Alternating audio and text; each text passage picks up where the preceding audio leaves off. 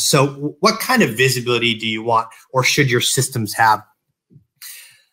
Ideally, the KPIs that you're looking for are essentially your compliance percentage, right? You have all the buckets of your employees, active employees, how many employees are full time versus part time, how many employees are in measurements, are they averaging 30 hours, are they not averaging 30 hours?